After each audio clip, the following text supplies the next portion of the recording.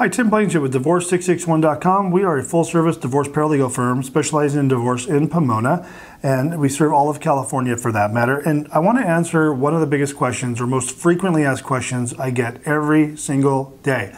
That is, how long is the divorce process? Now, the divorce process is the same throughout California, regardless, but I have folks that are searching locally in Pomona for this answer, and we get a lot of calls about divorce in Pomona. So I just want to answer this on video so you can spare yourself uh, some research time trying to find out the answer to this most frequently asked question. So, question is, how long does divorce take in Pomona, California? And of course, if you're watching this and you don't live in Pomona or the jurisdiction of the Pomona courthouse, um, the same applies anywhere in California. So, two things.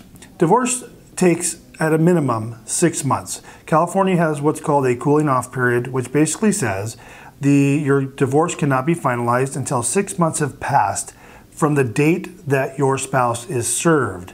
So it's not from the date of filing, it's from the date of service. So once you file your divorce and you serve those papers on your spouse, the soonest you can be divorced is six months plus a day, in fact, six months plus a day after that date of service is the soonest you can be divorced. Now, that's of course if you're going through an amicable case and you're just doing the paperwork, kind of like what we do for folks.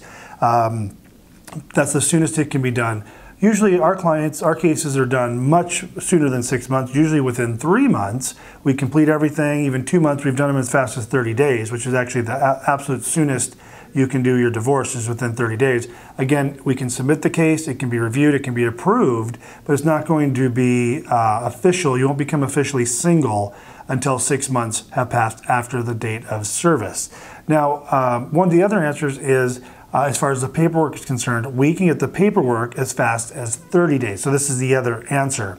Uh, when you file your case with us, we can take it down to court, we'll get it filed, we'll serve your spouse. From that day forward, after 30 days, we can submit your entire case. We're talking about all your property issues, custody issues, alimony support, all that can be addressed within that 30 days. We can get signatures after 30 days and submit your entire divorce case.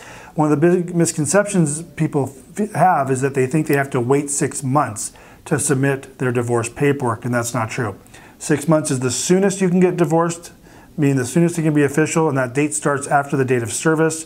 30 days is as soon as we can submit your divorce.